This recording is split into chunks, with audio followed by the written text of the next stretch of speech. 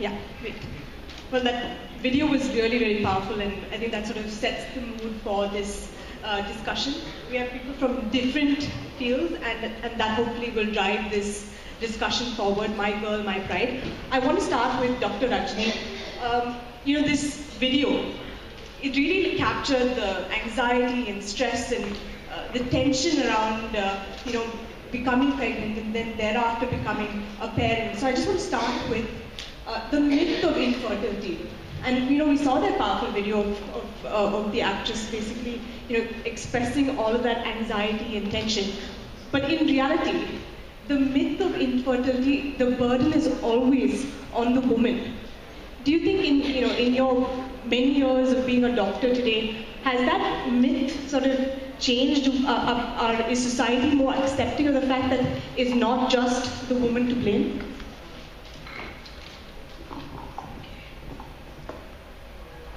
Hello. Yeah. Maybe a decade ago, it was the female which was, was branded as the cause of infertility.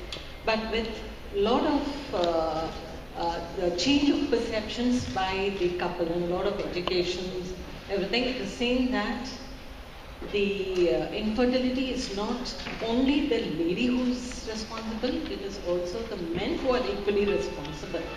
So those days they started branding, yes, you are the only reason. You can see the mother-in-law branding the, the daughter-in-laws. But now it is, it is seen that more amount of men are responsible for infertility because we do a lot of tests and we have found out that more than 50% is because of the men. So now with counseling and education and a lot of uh, awareness, people are understanding that it is not only the lady to be blamed, it is also the gents. And if you see the video, it is a nice expression where both the uh, wife and the husband are emotionally disturbed. Maybe a decade ago you can see only the lady sitting and crying. Now you can see both of them are equally involved in whatever you know problem which is there. So that is very happy because that gives us a better outcome in the treatment part. So the awareness is increasing and uh, so the treatment is becoming much, much easier.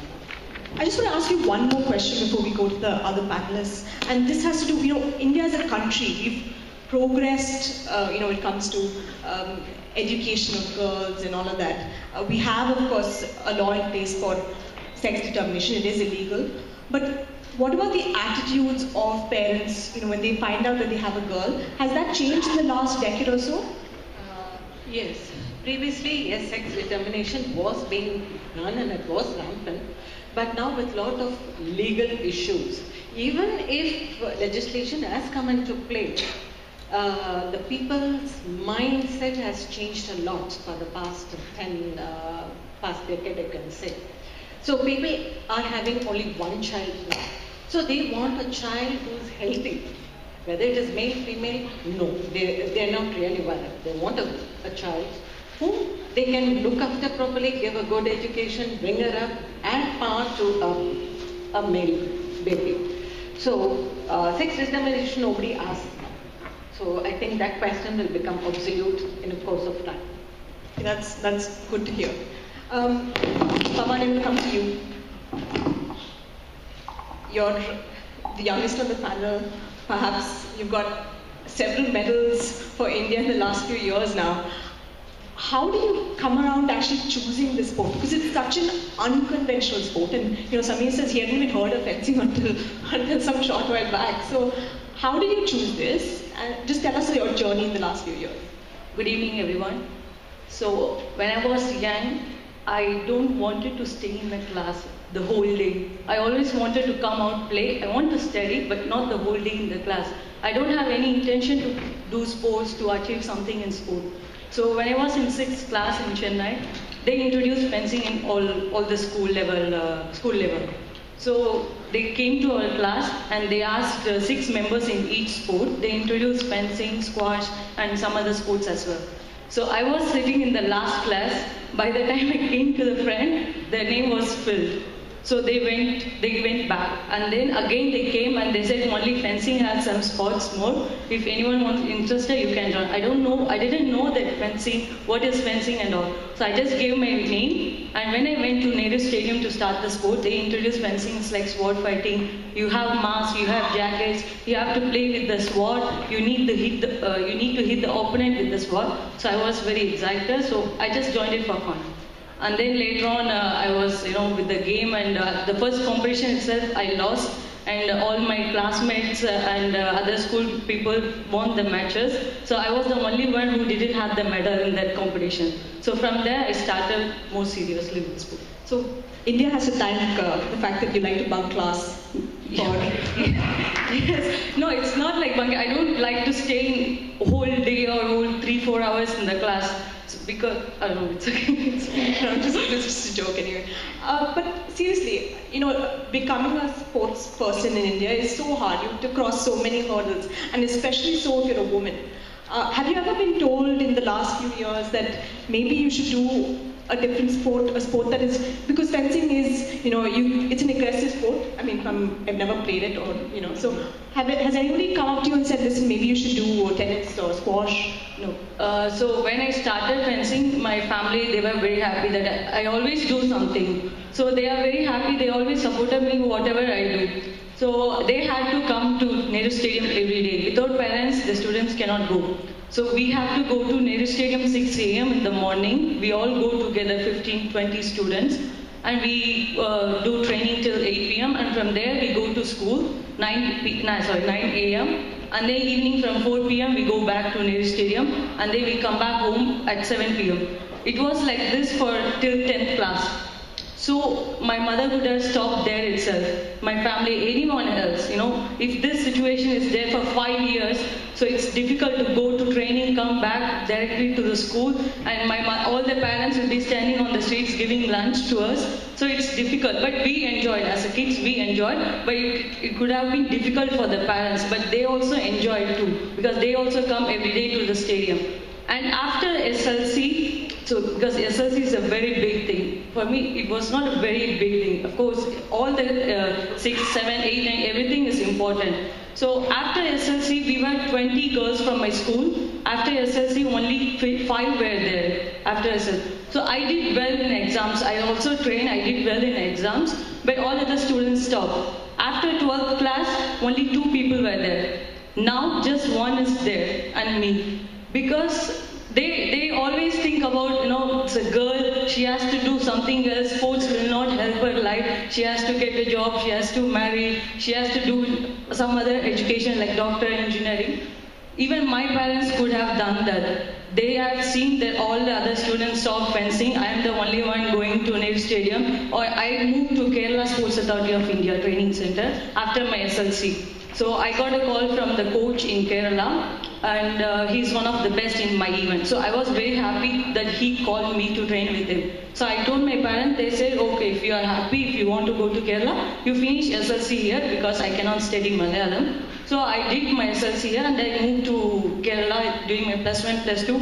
I did my degree there. So for the five years maybe, I came to my home maximum uh, 15 days in a year at that time and uh, as a girl moving to a different state and coming home only, it's not like 15 days continuous. Two days three days it was like this. Because during uh, vacations we used to have competitions. So even i enjoy but for my family it, when i think about from their situation it's difficult to you know just uh, let her play the sport. And uh, they they never told me the final answer is no.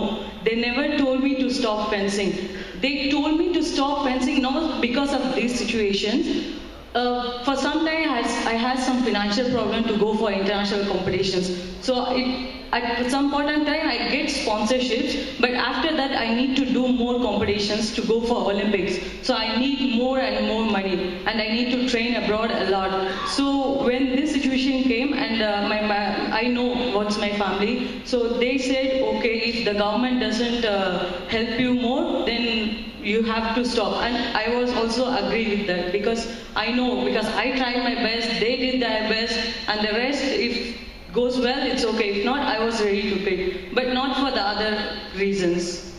Right. Well, we, I think your mom's here. Yes. Well, you know, India again has to thank your parents for being so supportive.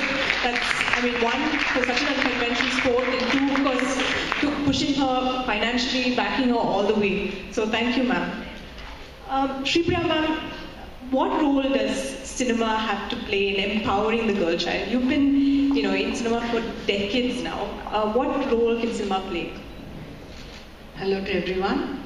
Um, everybody needs a role in promoting, I would say that's the right word. Now the topic is My Girl, My Pride, when men were invited first in the dais. Two of them, and then we followed them. So first let that change. Cinema is just a copy of the society. And um, the gentlemen who invited both the men are sympathetically from cinema. So we do, sir, have a lot to do. மாதத்தம்மை இழிவு செய்யும் மடமையை கொளுத்துவோம் Okay. so yes, we do have a lot of responsibility because it's a media where uh, people, uh, you know, it reaches people faster than anything else. And uh, we see that uh, women are used as just uh, uh, to give reactions when men are fighting, hitting 100 people. We just do, that's from my time till today. And you know, I think I blame the audience as well because people who talk feminism, people who want to promote women, still like to watch men fighting. It's a hero dominated world. The cinema too is. And if we all put together, maybe we can make one movie which will make sense with women in the lead. Please help us do that. Thank you. Um, this is a continuation of what you were saying. Um, you know, art mirrors society. So, I mean, the justification is that there is an audience for these movies, where audience of men stalking women, and you know, where no doesn't mean no, it means yes. And that has been the cinema for decades now. And, and women unfortunately tend to play either, you know, these, these pin-up dolls, or they play mother roles, or they they play these vixens. There's there's been no change. There's been a few movies here and there, but overall, cinema is that. And you, is that your is that a justification where, you know, it's fine as long as there's an audience for this? Hello. Uh, good evening, people. Uh, basically, uh, in my module, what I think is as a director, there should be a moral responsibility for the director as well as the hero. Okay, in any perspective, uh, whether it's an uh, social, anti-social things, or either it is a, what is the perspective on woman, either whatever may be. But basically, the director and the actor should have the perspective of moral responsibility. Uh, for example, uh, either it is an uh, sexual assault or anything, uh, smoking and whatever may be no. So okay, it should not poke the audience. Okay, that should you have to keep in mind. Whatever the story needed know, that we should be keeping in mind. Either things, whatever the things may be, we should be alerting that. For example, uh, for an hero, okay, there is a difference between a hero and actor. Okay, hero have and followers. Okay, the follower means okay, the all the things what he has been doing is the following all the things. Okay, so he should be precautious on the thing, whether it is smoking, uh, smoking, or whether it is stalking on the woman, and either any song and anything else. Okay, he should be very responsible, and at the same time, the director should be responsible. So the the characters, okay, uh, everyone will know exactly the woman character, the, the, the heroine character will be somewhat loosey characters, okay. So that should be avoided, okay. In that sense, as a director, as a person in my film industry, I feel guilty on film because of the few people, okay. On my movies, I do not feel guilty because I am responsible for my movies, okay, on the society. This is the thing I feel on it. That's the thing. Um, so, Kumaravel sir, I saw your tweet, I think from yesterday or day before yesterday, that said, uh, his tweet said, your, my dream is to have a house free, a housewife free India. Why, why this dream? Um, because what will majority of this audience do at home then? And two, how can you make, how can we make this dream happen? First thank you so much good evening everybody Sripriya madam சொன்னாங்க இந்த மாதிரி வந்து மென்னை first கூப்பிட்டாங்கன்னு சொல்லிட்டு பேசுறது நாங்கள் தான் last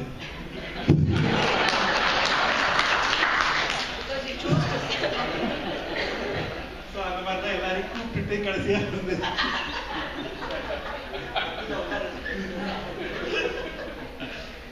Going back to your question of housewife free India. See, it goes to my personal experience. My personal experience is when I was 13, my eldest brother was 23, and we have uh, we are uh, total six children. Uh, my father died. And next day morning, my mother called all the six of us and told, I'm going to be your father and mother from today. And she exactly lived that for the next 35 years. I have seen girls who are much more educated, much more smarter, much more talented, and they get married to a dumb guy who is wealthy. Okay? Who is wealthy. And she pretends to be dumb for some time. Eventually, she actually becomes dumb. This time and again, we have seen such kind of girls everywhere. And the life changes. So only my solution for this is they are they think women think that being at home, um, uh, I am a good cook. That means I am successful. She can be a good mother. She can be a good uh, wife. Any one role can woman can do, and they can claim to be successful. That is how the society has portrayed them. Whereas men have to go out and make money. That is when the men is called successful. Men cannot stay at home and say, I am a good cook, I am a good father, and claim to be successful. That will that the society will not accept. So the role for it is being defined by the society, and that is how the society is looking at it. We need to look at it very carefully. There is a kind of male dominations, and the, the rules people who have created have been created like that. Out of um, 15 presidents and prime ministers, only one is women so far. Where are we heading? We are fighting for 33% reservation, and that is not happening. Women are powerful on the chessboard and in the school board and in, and in the home board. They are not there in corporate board, they are not there in political board. 3PA is an exception. And that's how the society is looking at at this point of time. We need to change that. Women doesn't need empowerment. Nobody can be empowered. Empowerment means we can only take the horse to the water. Finally, the horse has to drink. Here, the horse is not drinking. Horse is comfortably sitting at home, thinking of gold, um, yellow metal, and these white stones.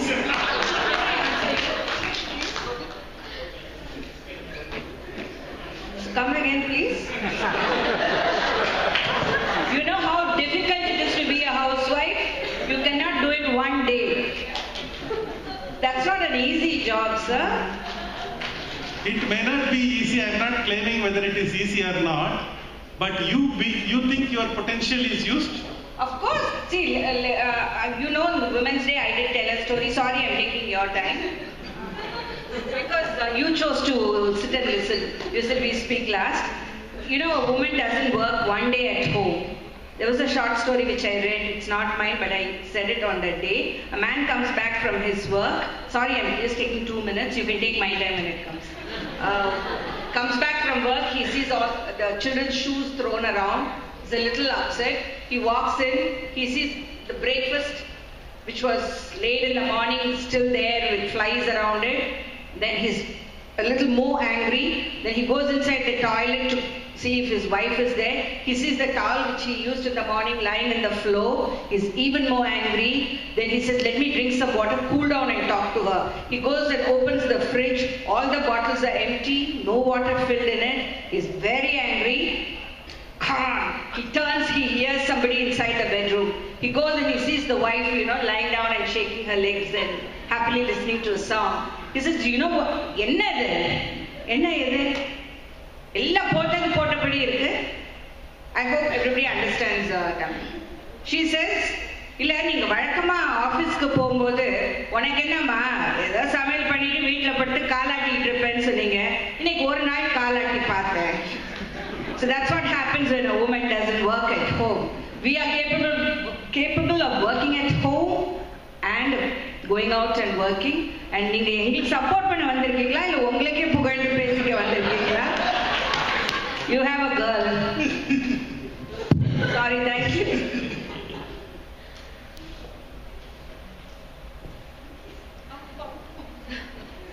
I actually agree with uh, the Shripriya ma'am.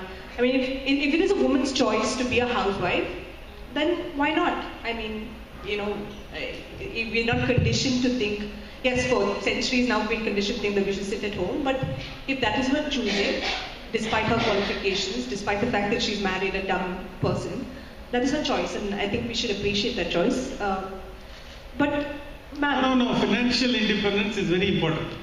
Minus that, the independence is not complete.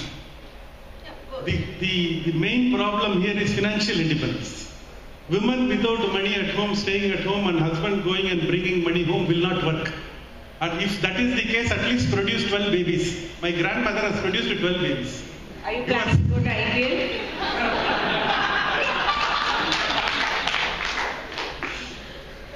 Um, do you think that India today we have enough women's role models for, for girls today? Do you think that we're lacking or, I mean, what is your opinion?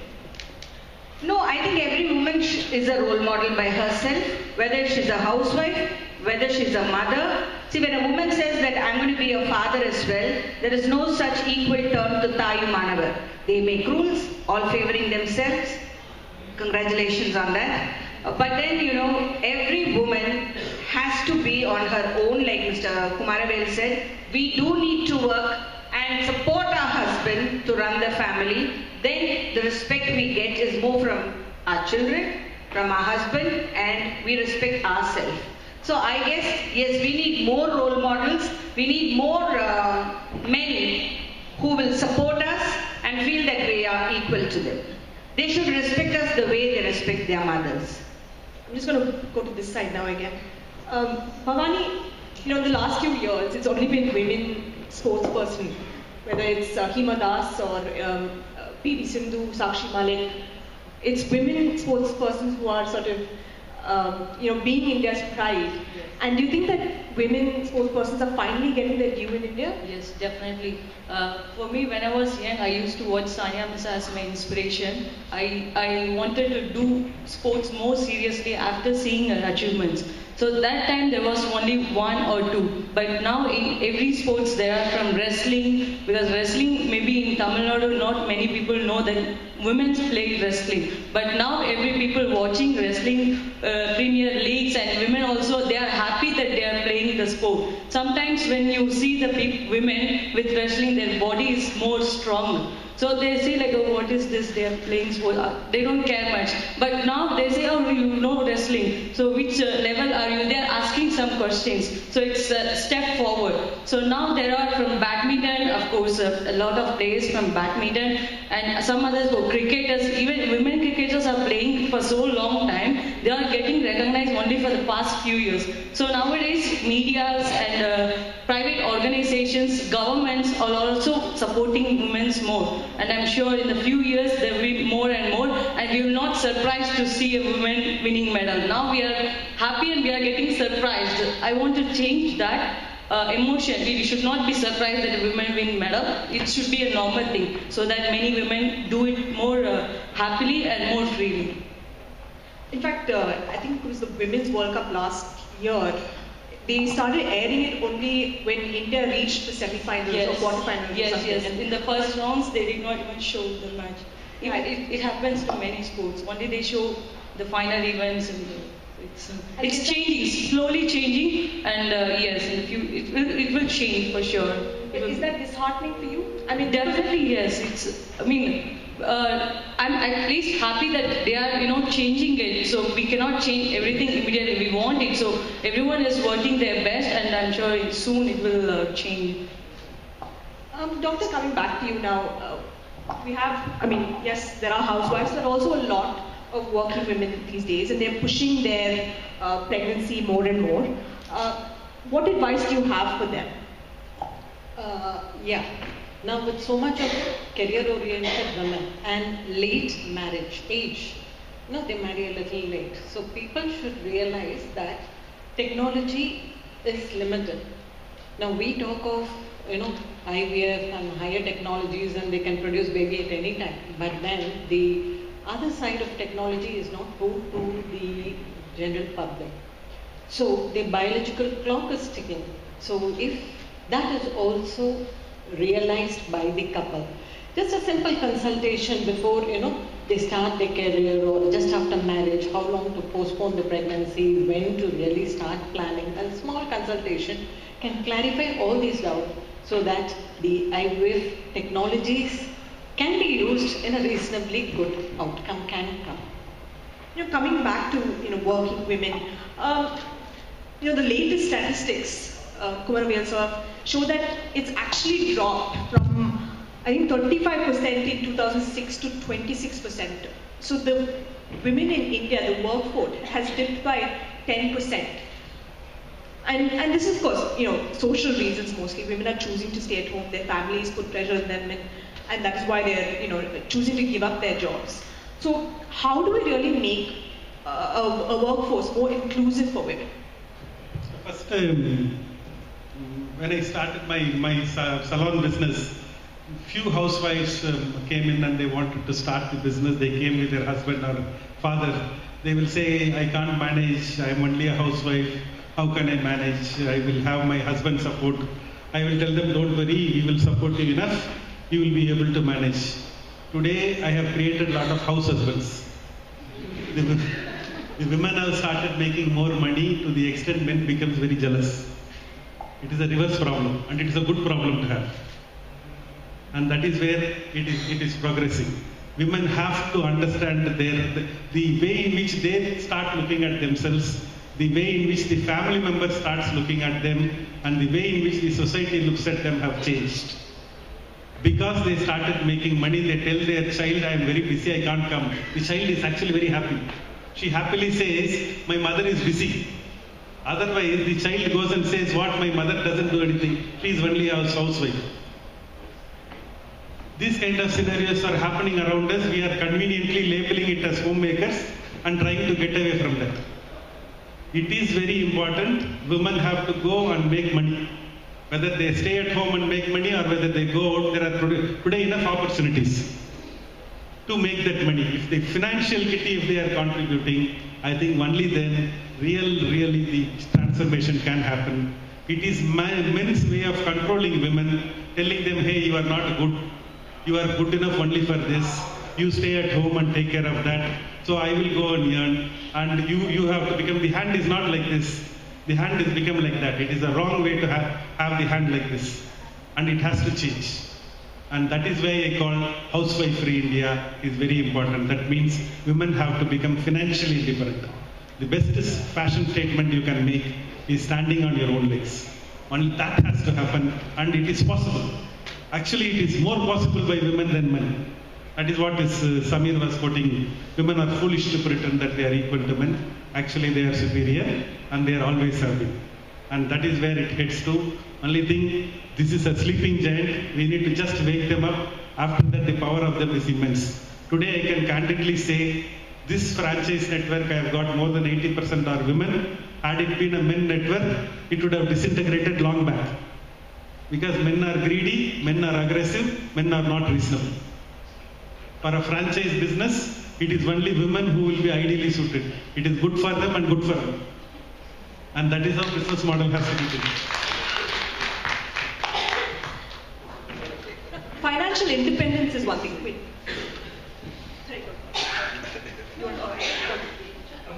So financial independence is one thing, but I mean we've been talking about how this, you know, women's empowerment, how to empower a child really starts at home. So Mr. Arivaldan, how do you think that this should happen? You know, these gender roles, they start from when you're a baby. You see your mother in the kitchen, you see your father uh, not helping cleaning. So do these gender roles, do we need to stop like having gender roles when at home that is? No, so when you when you grow up, basically you see, you know, a, a girl or a boy will see his mother in the kitchen. So at, at, that age, you think that a woman's place is in the kitchen. It's not, you know. So should we stop sort of uh, when we bring up our children? Do we basically need more men doing what women have been doing for years? We need more men doing domestic chores, so helping helping out in upbringing. Okay. Uh, this thing I want to give a detailed explanation in Tamil. Okay. Uh, because one thing you have to understand, okay, what is the basic reason uh, behind all crimes against women and extra all the things? No, basically from the beginning, that is the one point, important point, because from this it starts from the parents, okay, mostly, okay. What is thing இப்போ வந்து ஒரு வீட்டில் வந்து just வந்து பசங்க வந்து மெயினாக வந்து we have been sitting and talking about how the girl should be protected how the girl should be handle and how the girl should be handle with அது outside society and extra all the things been talking so let's come to the parent of and boy okay இந்த house okay ஒரு பையன் அப்படின்ற ஒரு விஷயம் வந்து நம்ம வந்து வீட்டில் பார்க்கும்போது ஒரு அம்மாவும் சரி ஒரு அப்பாவும் சரி வந்து மெயினாக பார்த்தீங்கன்னா அந்த வீட்டில் வந்து அதாவது சமைக்கிறது அப்படின்ற ஒரு விஷயத்தில் சமைக்கிறதா இருக்கட்டும் பாத்திரம் அழுகிறதா இருக்கட்டும் ஜஸ்ட் வந்து துணி துவைக்கிறது இது எல்லாமே வந்து ஒரு கேர்ள் திங் அப்படின்ற ஒரு ஆட்டிடியூடை வந்து பிக் கேட்கணும் ஸோ அது மெயின் வந்து அந்த girl and boy it's and own beauty so பேசிக்காக வந்து ஒரு சின்ன வயசுலேயும் வந்து ஒரு பையன் வந்து அது வந்து என் பையன் வந்து கஷ்டப்படக்கூடாது அப்படின்ற ஒரு சென்ஸ் வந்து அவங்களுக்கு எதிர் it's and five years or ten years பேசிக்காக சாப்பிட்டு முடிச்சோன்னே வந்து அந்த தட்டுக்களை வந்து வந்து பேசிக்காக வந்து அவனோட டியூட்டி அப்படிங்கிறது சொல்லி கொடுக்கும் அது வந்து ஒரு மெயினோட டியூட்டி கிடையாது. அது வந்து ஒரு அம்மாவோட டியூட்டி கிடையாது. அது வந்து ஒரு கேர்ள் சைடோட டியூட்டி கிடையாது. அது வந்து my duty my duty so அந்த பேசிக் மேனர்ஸ் வந்து சின்ன வயசுலேருந்தே சொல்லிக் கொடுக்கும்போது ஆட்டோமேட்டிக்காக வந்து அந்த பையனுக்கு வந்து அவங்க அம்மா மேலே வந்து ஒரு அப்சர்வேஷன் எல்லாமே வந்து மாறும். ஸோ அதே மாதிரி வந்து ஒரு பேரண்ட்டில் வந்து ஒரு ஃபாதர் ஃபாதர் வந்து அம்மா வந்து ஒரு டீஸ் பண்ணக்கூடாது. At any courses before the sun so அது என்னன்னா வந்து சின்ன வயசுலேயே வந்து அந்த ஆட்டிடியூடு வந்து அந்த அம்மா மேலே இருக்க ஒரு ஆட்டிடியூட் வந்து சரி அம்மா வந்து அதோட வேல்யூ வந்து கொஞ்சம் ஸோ சின்ன வயசுலேருந்து வந்து அப்பாவோட வேர்ட்ஸ் வந்து அம்மா மேலே போகிறது எல்லாமே வந்து அதோட வேல்யூ வந்து கொஞ்சம் போயிடும். So each and every thing நம்ம வந்து ஒவ்வொரு வாட்டி சாப்பிடும்போது ஒரு பிரேக்ஃபாஸ்ட் சாப்பிடும்போது சரி ஒரு லஞ்ச் சாப்பிடும்போது சரி we have to thank god அப்படின்னு நம்ம தான் சொல்கிறோம் இன்னைக்கு இந்த பிரேக்ஃபாஸ்ட் கொடுத்துக்கு இந்த லஞ்ச் கொடுத்து இந்த டின்னர் கொடுத்துக்கு வந்து நம்ம தேங்க்ஸ் சொல்கிறோம் அப்படின்னு நம்ம சொல்கிறோம் ஸோ அது கிடையாது. அன்னைக்கு வந்து இவ்வளோ வருஷமாக வந்து நம்ம அம்மா சாப்பாடு போட்டாலும் சரி ஒய்ஃப் சாப்பாடு போட்டாலும் சரி அந்த ஒரு ஈச் அண்ட் எவ்ரி பிரேக்ஃபாஸ்ட்டும் சரி லஞ்ச் சரி டின்னர் சரி we have to acknowledge that wife or mother and any thing else so அந்த ப்ராக்டிஸ் வந்து நம்ம பார்க்குற வந்து பையனாக இருக்கட்டும் யாராக இருக்கட்டும் அந்த வந்து மெயின் வந்து அந்த ஒர்க்கோட வந்து வேல்யூ வந்து அவங்களுக்கு தெரியும் எக்ஸாக்ட்லி ஸோ அப்போ தான் வந்து அவன் ஜஸ்ட் ஃபர்தர் வந்து ஆஃப்டர் இ க்ரோ ஸோ அவனோட ஒய்ஃப் அப்படின்றது ஆஃப்டர் டு பி மேரிட் அந்த அந்த வாழ்க்கிற பொண்ணை வந்து அவன் வந்து ஈக்குவலாக பார்ப்பான். ஸோ அந்த பேசிக் வந்து it's in the duty of the parents of the son அது ரொம்ப வந்து முக்கியம். ஸோ இது மெயினாக பார்த்தீங்கன்னா சின்ன வயசுலேயே நம்ம வந்து ஒரு எதிர்க்கு சின்ன ஃப்ரெண்ட்ஸ் சர்க்கிளாக இருக்கட்டும் ஒரு பேரண்ட்ஸ் சர்க்கிளாக இருக்கட்டும் எதிரில் வந்து பொண்ணு மாதிரி அழுதுட்டு இருக்கு அப்படின்னு சொல்லுவாங்க. So that attitude attitude should change so அது ஏன் வந்து கேர்ள் ஏன்னா வந்து பையனுக்கு வந்து கண்ணீர் வருதா? அவன் மனசில் வந்து சப்மர்ஜ் பண்ணிட்டு வச்சுட்டு இருக்குமா பொண்ணுக்கு தான் கண்ணீர் வருமா? அதே மாதிரியே வந்து என்னோடய ஸ்கூல் இன்சிடென்ட் வந்து நான் டுவெல்த் ஸ்டாண்டர்ட் படிக்கும்போது எங்களோட biology group as well commerce group வச்சு நாங்கள் காமர்ஸ் குரூப்பில் வந்து கேர்ள்ஸ் வந்து ஃபஸ்ட்டு ஃபஸ்ட் ரேங்க் வாங்கினாங்க. அப்போ வந்து பயாலஜி ஸ்டூடெண்ட்ஸ் எல்லாருமே வந்து டீஸ் பண்ணாங்க. என்னன்னா வந்து ஏன்னா அசிங்கமா இல்லையா? பொண்ணு முன்னாடி தோத்துட்டீங்க அப்படின்ற மாதிரி. நான் வந்து ஏன் வந்து தோக்கிறதுக்கு வந்து இது பண்ணுவோம்? ஏன் தோத்தா போயிருந்தேன் so they have the capacity so அந்த கெப்பாசிட்டிக்கு முன்னாடி நான் தோத்து போகிறது வந்து கவலைப்படக்கூடாது. ஸோ அந்த மென்டாலிட்டி வந்து we have to think it up so from the starting இந்த what I'm saying from the starting from the parents itself வந்து அந்த பொண்ணு மாதிரி அழுகுறது ஏன் வந்து ஜஸ்ட் பொண்ணு மாதிரி வந்து தை ஏன் வந்து இப்படி கோழையாக இருக்க? அந்த மாதிரி விஷயம் பொண்ணு முன்னாடி அந்த அசிங்கப்படுத்துகிற தோத்து போகிற அப்படின்ற அந்த சென்ஸ் அந்த மென்டாலிட்டி வந்து தூக்கி எறிக்கும் அதாவது க்ரோன் அப் சில்ட்ரன் ஆல்சோ ஒரு பாய்க்கு வந்து பத்து மணி வரைக்கும் வந்து வீட்டுக்கு வரலன்னா வந்து ஒரு பொண்ணு வந்து பத்து மணி வரைக்கும் வரலையா? எங்கே போச்சு ஏது போச்சு அப்படின்னு நம்ம கவலைப்படுறதில்ல. அதே பயம் வந்து ஒரு பையன் வந்து வீட்டுக்கு வரலன்னா என்ன பிரச்சனை அப்படிங்கிறத நம்ம யோசிக்கணும். வாட் ஆர் இஸ் ஃப்ரெண்ட்ஸ் அப்படின்னு யோசிக்கணும் ஸோ ஏன் வரல ஏன்னா வந்து அவங்களோட ஒரு பையனால் வந்து வேற ஒரு பொண்ணுக்கு ஒரு பாதிப்பு இருக்கலாம் ஸோ அந்த மென்டாலிட்டியை வந்து அந்த ஒரு கேர்னஸ் வந்து பேரண்ட்ஸ் வந்து எல்லாத்துக்குமே இருக்கணும் அப்படின்றது தான் என்னோட பேசிக் அதான் Yeah, actually, that is very important. You can't talk about girl girls empowerment without talking about boys. And a very valid reason, you know, uh, people start talking about the women's lib and feminists talk about how we should raise our girls like sons and our sons like girls. And that is very, very important. You can't, uh, you know, you need to nurture uh, empathy. For a, for a boy, you're asked to suppress uh, tears and crying and any feeling of emotion. Whereas, you know, you really can't sort of distinguish between how to raise a girl and how to raise a boy. So, do you agree? I personally feel both the genders should be educated on the physical changes they will be facing as they grow up and uh, teach them, especially for girls, uh, when they get their periods, that need not be a shocking, a surprising, or something that should be, you know, kept away. Boys should be aware of what it is. It is a very natural occurrence, happening at every house to their mothers and to their sisters. They should be mentally prepared to help women when they need a physical rest in the time and to help them. You know, it's like a crime going to buy uh, sanitary napkins and giving to women. Of course, it's changing now. They are very proudly going and buying contraceptives and stuff like that. Then I think they should have, be, you know, having a broad mind to help women go through this few days in their every month. And you know, all these changes, if you start telling them that what changes happen to a boy, what changes happens to a woman, right from their childhood, nothing is going to surprise them. And main thing, we need to educate that they have to respect each other and they are equal and parents especially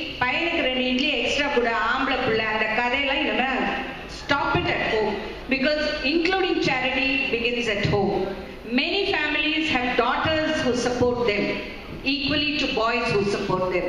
So boys and girls, they are after all human beings. Please don't discriminate, don't differentiate. I think பெண்களுக்கு முக்கியமான விரோதிகள் முக்கியமா பெண்களாக தான் இருக்கும் My mother, for instance, is very happy when I back answer my in-laws. Oh, திருப்பி நல்லா கொடுத்தியா? But she's not happy when her daughter-in-law answers her. So I think, you know, we need to be broad about it. Somebody's daughter who's being bold, appreciate her. So I think, you know, times are changing, but maybe we may not see it in our lifetime, but truly, maybe my daughter will see it, my grandchildren will see it. We'll work for it. Doctor, coming back to you, uh, not a medical question, but uh, but you know he brought up the whole safety aspect, and generally, uh, you know, when you have a daughter, you tend to give her more restrictions than you give a boy. So you'll tell them, okay, come back home by 10 p.m., whereas a boy may not have a curfew.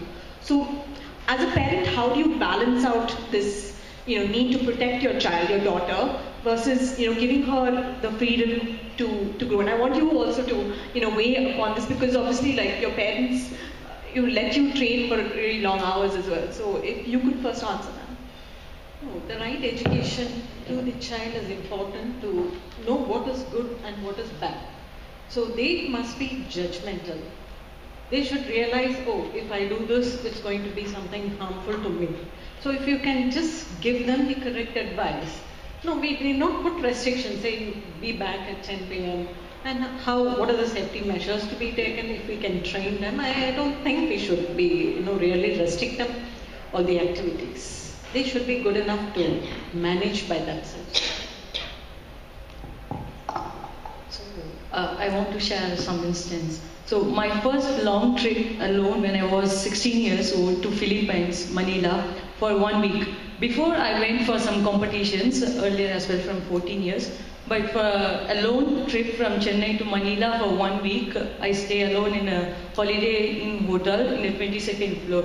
So I was very scared. Sometimes I used to cry all the in all the travel when I have to change the plane. I used to cry that I will miss my flight. Then what I will do? I don't have enough money in my hand. So I, I used to cry all the time. So when I went there, the people came and they used to help me and uh, they gave money for us for lunch and dinner and breakfast will be in the hotel.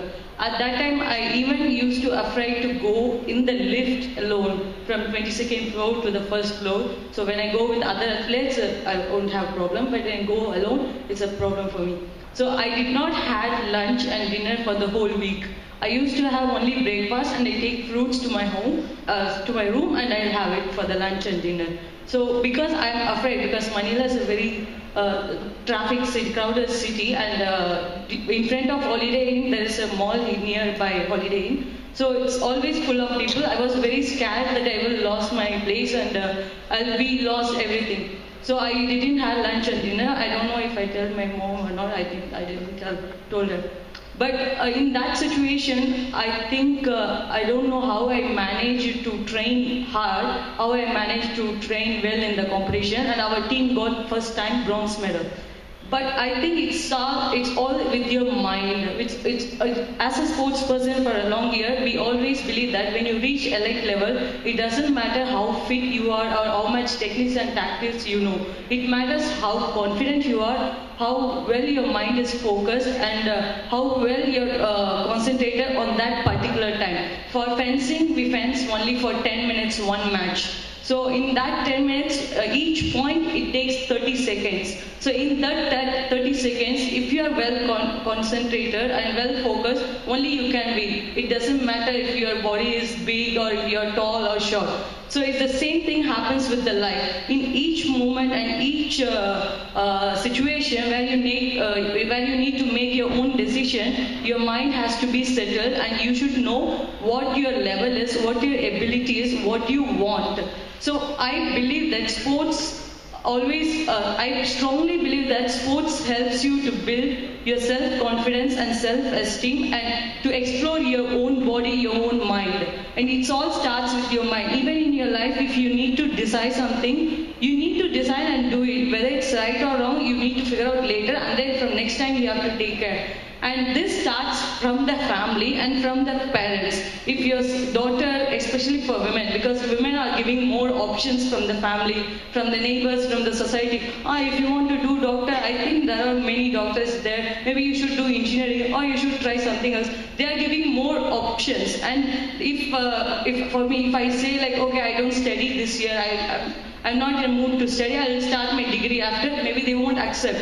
If a man says, okay, your choice, you do what you want, it's like they don't care. Then they care too much.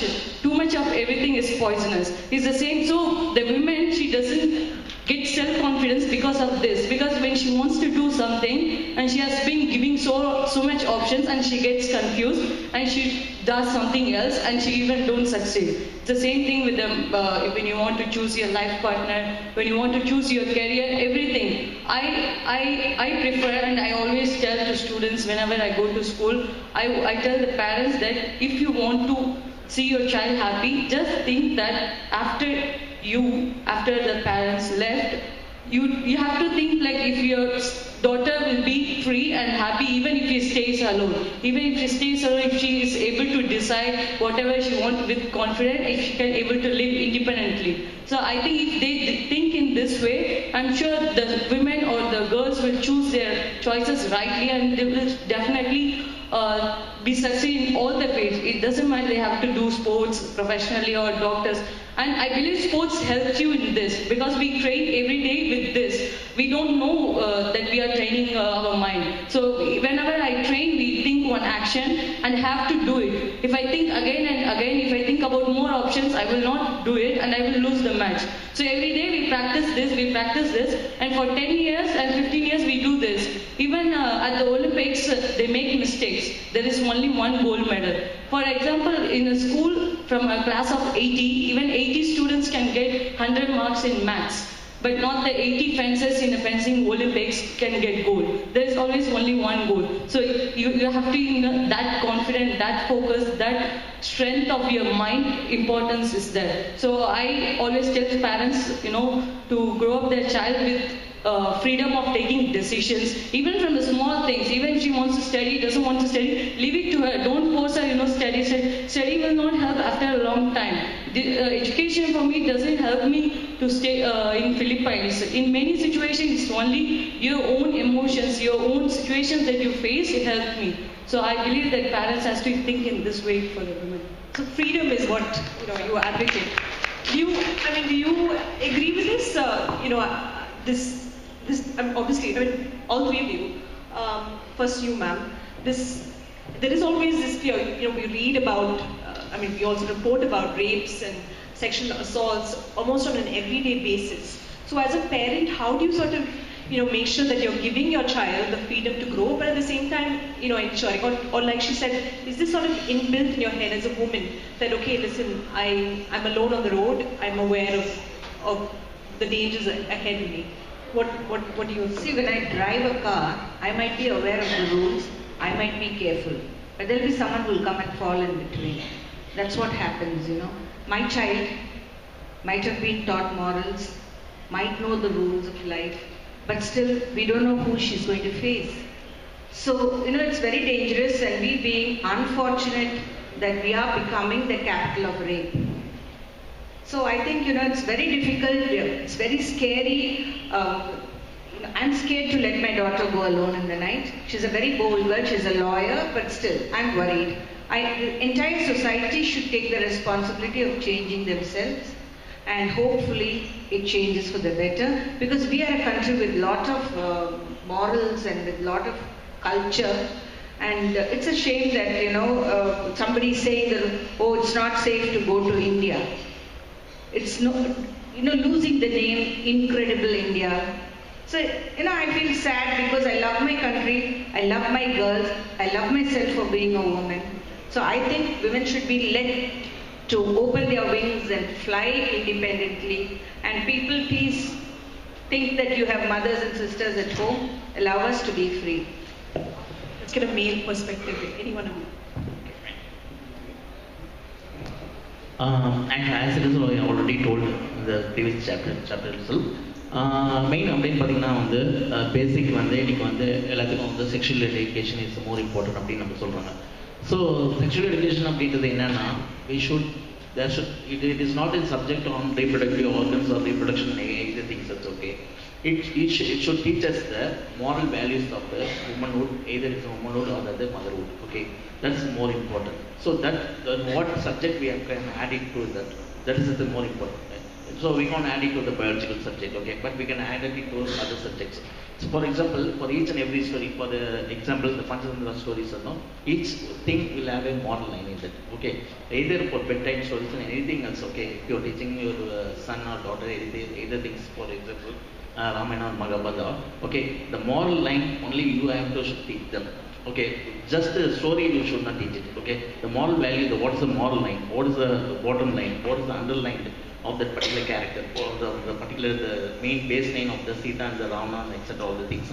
So only you should, the parents should teach us. Okay, and the other precautions thing and all. Okay, so everyone knows actually because of the for today's life. Every parent is thinking about the good touch and bad touch, except All the things. Okay, that is more important to parents because the crime starts from not the outside. Okay, starts from the relation and from the inside the outside.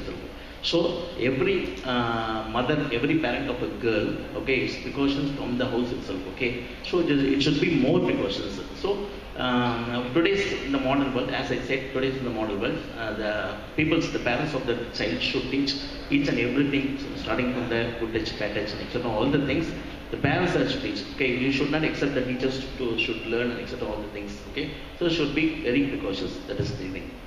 It's true. In fact, most of the perpetrators, we always think of them as strangers, but a majority of them are people, you know, within our households. Um, so, would you like to weigh in on this? On, you know, the, this should a should a girl have a curfew? Is it you know is it okay for a parent to give a, a girl child a curfew as opposed to a boy who's allowed to you know be let loose on the street? I, I think it is wrong, but uh, the external reality is not in favor of. I think the India can again claim real freedom only when a, a girl child can walk um, without fear in the midnight. I think that is only the India can claim to be free. Um, that's the reality. The external scenario, as Priya said, it is not favorable. So we need to have protect ourselves. That's our responsibility. We can't claim that uh, uh, men, boys, and girls are equal. So you also go to night show and come all alone. Means yes, it is nice to stay at home, but the, the problem outside is far more uh, out of uh, in our control. I think we should not. Um, um, I would say prevention is better than cure. Um, you know, another thing actually I want to bring up today is the whole gender wage gap, and I think, I mean, this is across the board. I'm sure different industries. You know, I remember reading this article uh, many years ago that if a man and a woman they had the exact same CV, the exact qualifications, the exact educational uh, degree, the man would get the job and paid more also. So, um, what can we do? Our do? industry it is the other way around. Yeah, your majority of, but Kareena Kapoor jobs.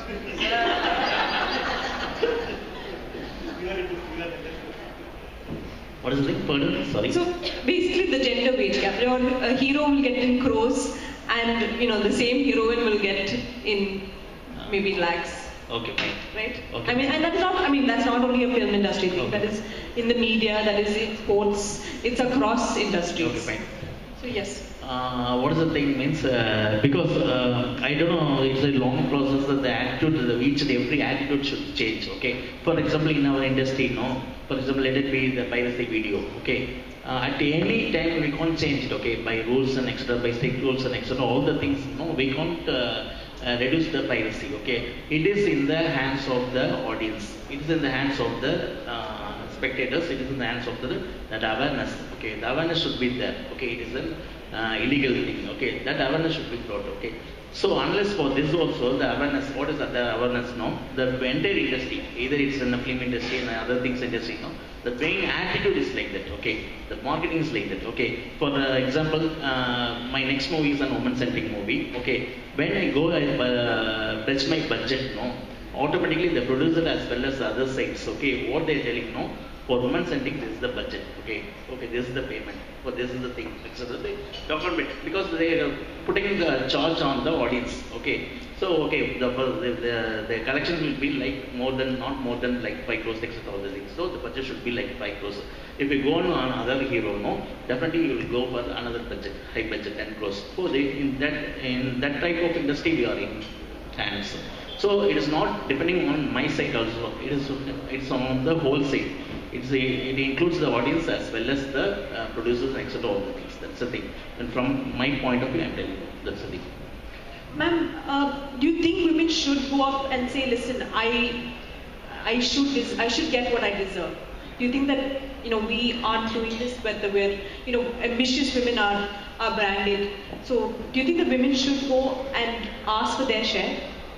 See, even, you know, uh, let us not talk about just movies, any other profession that happens. So maybe there, yes, we can try and change. But here, no, it's in the hands of the devils. You can't do anything in cinema. Uh, because uh, starting from the uh, distributor, they put the blame, not, but I wouldn't say it's a blame, but yes, audience like to watch, one, uh, you know, so and so's movie, and you know, the uh, amount of milk poured on them could be given to children who need milk. So, you know, all this in cinema, I don't think we can ever do it. Till the entire thing is like when we are playing cards, when we lose, we just, you know, do that and finish up the game. We have to do something like that and start all, all over again. But it's very impossible in movies. I don't think it will ever, ever happen. But yes, we can try it in other things. Like even, you know, when a building is, the construction work is going, people who work there, they do the same amount of work for the same many hours and they are paid less. Maybe yes, we should start fighting from there. And if some changes can happen, see women work very hard, but they are not given what they need to be given. And one minute, sorry, I just like to congratulate both of you because I may not get the opportunity. You are brilliant. You know, it's very difficult in a short movie to think. Very nice, lovely. Actually, the discrimination is not in the male actors as well as the female actors. It is uh, along with the female actors itself. Okay, if we go with uh, one script, no, for women centric, no, definitely they will be asking for the top most artist only, either it is a female artist. That is the type of industry because it is based on the business oriented. So it uh, includes distribution and uh, theater exhibitors and producers and audiences, etc. All the things. So there is no we can't uh, handle with whether it is a male or female. That's the thing. Yes, sir. Uh, I'm sorry. Uh, in Aval Appadithan, the movie which still people remember after 40 years plus, uh, it was first uh, Kamal sir who suggested that there should be a star who can do that film. And they both did a small role, like Kamal sir and Rajni sir did a small role, and it was given to me. It's always not like that, and uh, like it's in the hands of the women I want to accept because you never make movies and you don't do the same kind of publicity you do for a hero's film. I don't blame you because you are not. Nobody wants to lose money. Know, we'll come back to the to cinema just uh, in just a bit.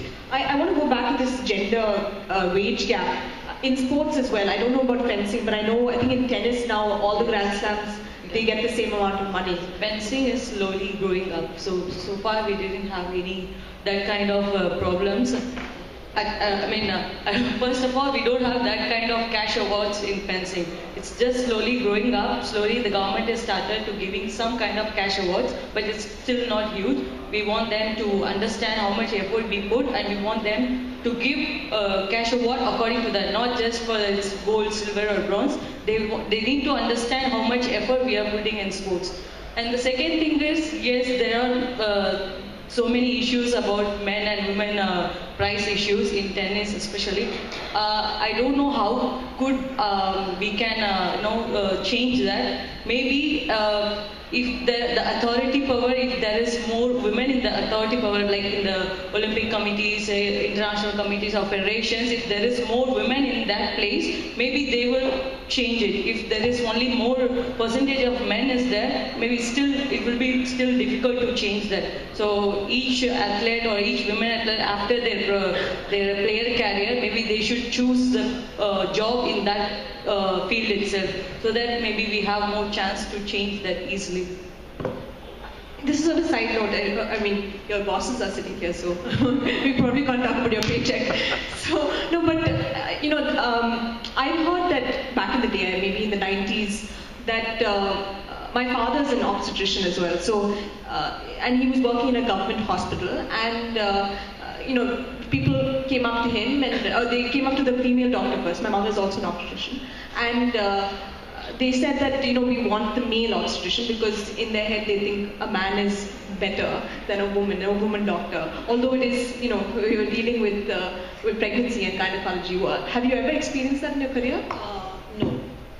In fact, our patients prefer female doctors because they are more emotionally attached to the couple and their counseling is much better with a female doctor rather than a male. And because it is more of investigating the private parts, they are more comfortable with a female doctor. Um, I want to go back to the cinema bit now again. um, can't let you go that easily. Do you think that you know the cinema that we see today, like you mentioned, it's you know it's male-driven essentially, and for a male audience, that we need more women in cinema, and that is the only way in the technical field. So whether it's scriptwriters or camera persons, we need women uh, telling stories of women, and that's the only way we can, you know, truly empower women and also tell their stories as it should be. Actually, again, you know what happens? The technical side is like being a doctor. You need to be free, available 24 7. We can't just go at the middle of the night. If there is a problem in editing, then I have to go. Then I have to ask permission to my husband. I need a driver to drive me. Then my child is going to cry. There are a lot of problems. That's why, you know, you find less technicians over here. Unless, you know, in cinema, you need to be successful. You need an entire family behind you. For a man to be successful, yes, just a woman would do. But for a woman, we need the support of the entire family. I need a mother who will take care of my children. I need my husband to say, yeah, yeah, wait, day at least. So, you know, we need the support of the entire family. That's why we have less technicians. I hope, yes, storytellers are more from, from our side. And of course, you know, when we have women, there are a lot of Malayalam movies which carry women story writers. They make very sensitive and fantastic movies. So I wish that happens all around uh, India. Uh, actually, what uh, ma'am says is exactly the same point because there are so much of practical difficulties in the uh, film industry. Uh, while um, uh, woman is coming into the particular field, okay. Uh, other thing, what I mean is, what if, if it is a woman female director, no, we can get a sort of films, okay, where we can't see the hidden nuances in the filmmaking. Okay, for example, either it's starting from the Mrs. Mrs. Iyer and anything else, okay, uh, English Vinglish and all the things, no? Uh, we can uh, see the other side of the woman. What's the other side of the woman exactly? What are the nuances inside, the That we can see. That we can take it to the audience. Okay, that are the things, uh, the only in one woman perspective is there. So such type of uh, movies we can accept, accept from only uh, women directors and accept all the things. And uh, as ma'am says, uh, the uh, storytellers, story writers, and all the things all will come only. We can easily expect more from uh, numbers of them from there. That is a thing, nice thing. I think we're almost done. but I I, I, don't know. I don't think I should give you the last word, but uh, but but you know, you spoke about financial independence, and you know that's how you can empower a woman. But you know, what about the conditioning aspect of it? Because for years now we've been told listen, your place is in the kitchen or in the bedroom. Uh, how do we break that mentality? Yeah, I think we should have uh, local role models. That's the need of the hour.